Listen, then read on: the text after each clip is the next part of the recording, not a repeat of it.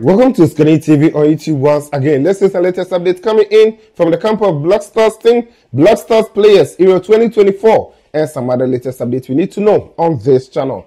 Alexander Kwabena is the defender for Fenerbahce and Black Stars right now. One club in Italy is interested in the player, and we will talk about him in this update. Mohamed Kudus to Al Ittihad. Well, the story is still developing today. I'm getting some few updates coming in from England, and I'll speak about it, which could be a piece of good news for some people because some are saying that Kudus shouldn't join Al Ittihad. He shouldn't just follow the money because some years to come, the money will follow Kudus. Well, we'll talk about it together with the latest transfer updates from his side. We also look at Euro 2024 because a lot of things are going on. I'm here to actually bring you updates from that. I told you that I'll be doing it intermittently. Today, we had some tough matches right after watching Italy Spain. That is when I'm making this video. And I know you enjoyed the game, especially Nico Williams. My oh my, the boy is so much fantastic, and I really enjoyed him. We'll talk about him. Kobe Boateng today he was on the bench for England. I know most Ghanaians don't want us to talk about this boy, but we also look a little into that. Together with some other latest updates. Gideon Mensah speaking about Otto Addo and some more updates. You know the video will be packed, but we make it very snappy and detailed as we do always. Before then, if you have joined us, take your time and like the video. Anytime you join us, please take your time and like the video for me. It's very necessary. After liking, if you are new, subscribe to the channel Put us on post notifications so that anytime I drop a latest update, you'll be the first person to get and also enjoy. Leave a thought and comment in the comment box. I also do my best to give more shout outs in this video, so stick and stay for that. After watching the video, please share the link to one platform, either on Facebook, WhatsApp, anywhere. Please do work and share the link for others to also come here and enjoy the latest. No time to waste. You know how we do it. Quickly, let's begin from here. Alexander Kwabena he is a centre back for Fenerbahce and Ghana Black Stars. And this guy has been really fantastic. Um, you know, we've spoken about him a lot of occasions. Now, he moved from Strasbourg to join Fenerbahce ahead of last season, and his performance for them was superb. He helped them to actually play second in the league. And in fact, that league has to go to the last game of the season before Galatasaray will win it, um, you know, from the hands of um, Fenerbahce, and it was a good one for them. This time around, they brought in Jose Mourinho to come and coach the club, but Lazio in Italian Serie A, they've now shot up that they want to sign Black Stars centre back and also Fenerbahce centre back, that is Alexander Djiku. They want to make him a priority in the Italian Serie A side. So, yes, Lazio, they are preparing an amount of 10 million euros for Fenerbahce's, um, that is Alexander Djiku, to entice the player for him to move on from Fenerbahce to come and play for Lazio in the Italian Serie A. Do you think that it is going to help him for him to move from, um, you know, talking of Fenerbahce to come and join them in the Italian Serie A? And I don't even think that Jose Mourinho will let him go because Mourinho getting a player like Alexander Djiku, fantastic centre back. I think he's going to hold on him. But let's wait and see whether um, you know the player will move to join them in the Italian Serie A or not. So for now, Lazio they are interested in him, and that is the quick update for you. Gideon Mensah has also spoken about Black Stars coach Otto Addo. According to him, Otto Addo is one of the best coaches he's actually played under in the Black Stars team, and that is a good one coming in from the player. Quickly, this is what the player has to say when he was asked about Otto Addo, how he sees the Black Stars coach going forward, and everything that he's done in the Black Stars team. These were the words from Gideon Mensah. For me, I think he's one of the best that I've worked with in the national team in terms of the tactics and then how he wants the team to play.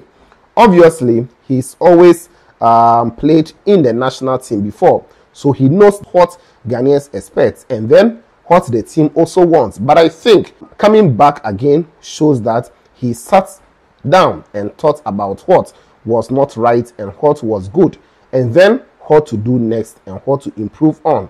That is what Mensah actually said in an interview, and that is it also for the player. So this was quoted by Ghana Soccernet, and I'm also sharing with you on this channel. According to him, yes, Otto Addo, he is the best or one of the best that he's worked with in the Black Stars team. For him to go and come again tells you that yes, he sat down to actually look at the good and the bad sides of everything, and now he knows how to play his cards very well. For now, his return has been good for Ghana because for the two competitive games that we played, we've won back to back, and that is a good one for Coach Otto Addo and the Ghana Black Stars going forward. So Gideon Mensah, he has spoken about him, and that is that. Let's talk about Mohamed Kudus. Where is Kudus joining right now? A lot of people are advising him online. I don't know whether Kudus is actually reading all our comments. hopefully he will read because the players they do follow all those stuff. You know, Kudus to Al-Ittihad actually came up about three days ago. That is when um, the club has actually made it clear that they want to sign Kudus and pay him um, a little over three hundred thousand dollars a week. And Kudus at West Ham, is taking close to hundred thousand a week. So it tells you that it is times three plus cars promises plus house that they are going to give to him a whole lot of stuff if he joined the Saudi Arabian side. Now, people advising Kudus that for now he is young, he should stay at West Ham continue to play. And if he builds himself very well, the money will chase him, just like the likes of Ronaldo's, the likes of Salah. If Salah want to move to Saudi Arabian club right now, they, will, they are going to pay him more than what they want to pay Kudus right now. So if Kudus improves himself, he's going to earn more than that. And I kind of buy that idea. Others are also saying that, see, opportunity comes but once. This is the time Kudus should go and take the money. Some are saying he should go there for two years and come back to Europe. But if you're coming back to Europe, do you think a lot of the big clubs will still be interested in you? If you go there, it's going to be just like that, you know. But it is it is down to the player, his management, and what they think is going to be best for him. But today, per the latest update we are getting, according to um, Graeme Bailey, yes, he actually works with TBR Football and some other transfer experts in England. Today, he has revealed that West Ham United have no intention in selling Mohamed Kudus or Edson Alvarez despite interest from Saudi and Atletico Madrid for the two players. Saudi for Kudus, then Atletico Madrid for Edson Alvarez. You know, um, Kudus, according to um, the player, yes, right now, um, according to Graeme Bailey, he's saying that the player is not going anywhere. The club has not decided to sell any of these two players, either Kudus or Edson Alvarez. So that is according to Graeme Bailey, what he's reporting, and it is also making waves. We have to follow this story and bring you a lot of updates. Whether Kudus will eventually leave West Ham this season or he's going to stay at least a season. I think Kudus will stay for next year. But hey, transfer news are coming up. Liverpool is really interested. Manchester United has also shown interest. Al-Ittihad, they are also ready to splash money over 150 million dollars for West Ham for them to release him and also pay Kudus $300,000 a week. And it is really enticing. Well, let's follow and I'll bring you more updates on this channel. Now, let me speak a little bit about the Euro 2024. Yes, I'll be leaving all the games from the group phases from match day one. They started on 14th of June and it's going to end on the 14th of July. So from match day one till now, I'll be leaving everything here together with the rest of the fixtures. Then after the group phase is how the parents and everything will be. I'll leave them here as I'm talking about the games. So yes, I'll not take my time to run you through all of them. But today, let me just give you today's matches. We had Slovenia who played against Serbia at 1 p.m. and the match ended 1-0. Yes, Slovenia scored first before Serbia came to equalize on a 90 plus 5. Then we had Luka Jovic. He scored that um, you know equalizer for them. And that's it. Now, Denmark were also held to 1-0 draw. And um, it was Denmark 1, England 1. In fact, England scored first, then Denmark equalized. Denmark scored a fantastic goal over 35 years. Amazing goal. And that is it. I know you have been enjoying the game. Spain also defeated Italy. As I said, I just finished watching the game and I'm recording this video. Spain, they got their only goal through an own goal. Yes, it was a fantastic cross from Nico Williams, which was also headed by, think, one attacker. And, um, you know, it's actually deflected in. This is how everything is going in the Euros. So you can be checking all the fixtures for yourself, as I said. But the trending stuff today in England's one-all draw against Denmark, it is making waves because um, Kobbie Mainoo Boateng yesterday, or I think last two days rather, sorry, I brought you an update where the player said that for now he has decided to play for England, and that is that. He is not ready to represent any other national team. And it is like that. I've been saying we should just respect his decision. But if you go online, definitely the coach, especially Gareth Southgate, the coach for England, many are trolling him that he's not good. Some are comparing him to Chris Hughton. Some are comparing him to a lot of the flop coaches that we know. But you know, I don't, I don't actually understand what the coach is actually doing on the bench. Sometimes, if England is playing, you look at the whole setup, how England approach the games, you get to know that no, English national team, their problem is from the technical side. It is not really from the player side. Neither is it from Jude Bellingham or um, Phil Foden or Harry Kane. Look at how Harry Kane will drop deep for the ball. And by the time he ran to the opponent box, he's already tired. Today, Jude Bellingham had only two touches in opponent box. It tells you that yes, um, England they have a lot of work to do in their team technically. So we saw Kobbie Boateng who was sitting on the bench. He didn't play part at all, as well as um, you know Chelsea's. Cole Palmer will score a goal and you know do that kind of celebration. Right now, he's on the bench for England, and many were not excited about him, as well as Kobbie Boateng. Kobbie people are actually um, trying to compare his situation with Danny Welbeck's own. How Danny Welbeck started playing for England and he was neglected just like that. Then Welbeck has been playing consistently for years, but they don't even actually recall him or they don't actually remember that there's a player like that, you know. So all these things are going on, and many are actually um, trending him on online, and that is this. I think still Kobbie Boateng is young, um, even if he doesn't get a lot of opportunity to play in this Europe. Uh, Euros, the next competitions are there. Next coach will also come take over, and maybe, maybe he will get a lot of opportunities going forward.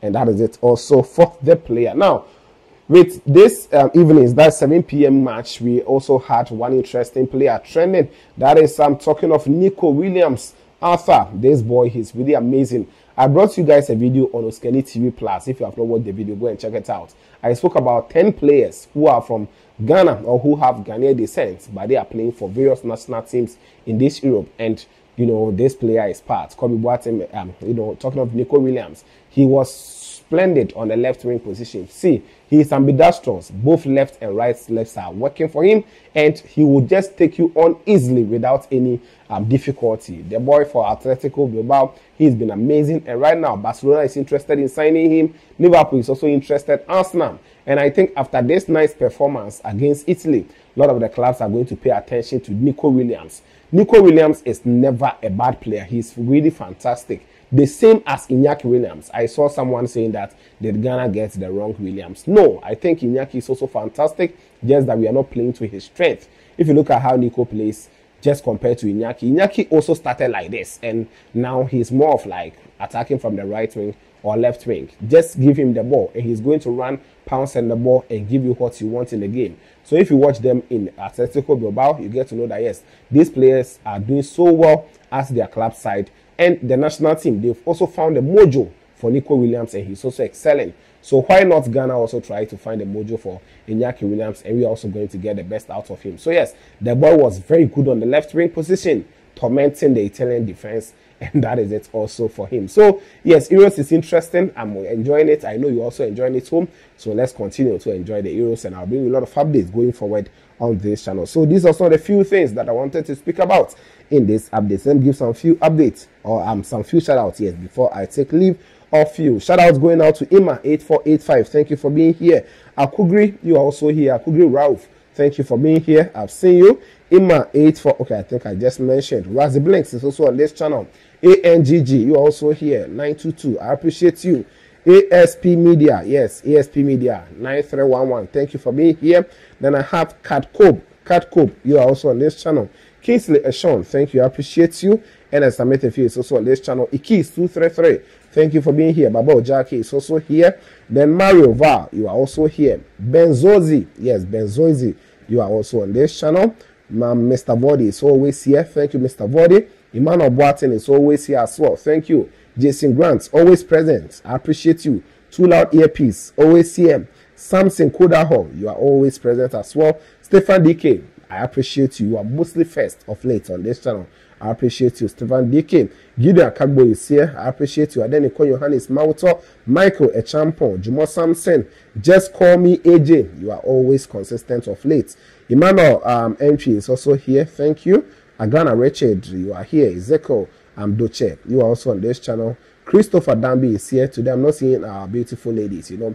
God Soldier is here. Barak 6365. Augustine Kwansa. Sylvester Magaibo. Um, Adepa 1212. Yes, one pretty lady is here. Adepa, thank you for being here always. Bright Ando is also here. Emmanuel Amane is here. Docs JFX. Elijah Nana Sante. Steve, um, Steven Kumaga. Okay, I want to give shout out to all of you guys. Ahmed Tijani is here. Apia Sabbath, you are also here. Christopher Dambi is here. Stefan Kenyon, you are here as well. Doku Kadija, Gideon Akagbo, thank you. Um, then I have, let me move on. Samson Kudaho. Okay, Peter Ahen, you are here. Um, let me move on. Okay, okay, okay, okay. First Ammonia is here. Real Lassie TV is also here. Prince Ahiele is here. And I know the likes of Betty Johnson, um, Ajua P, and all the other fantastic ladies will also be coming to comment. But as of this time, these are the comments that I have under the last video. as at the time I'm recording this one. Don't forget to always like the video for me, subscribe, put on the bell for more updates here on this channel. This was Osikani TV, and of course, we shall meet later.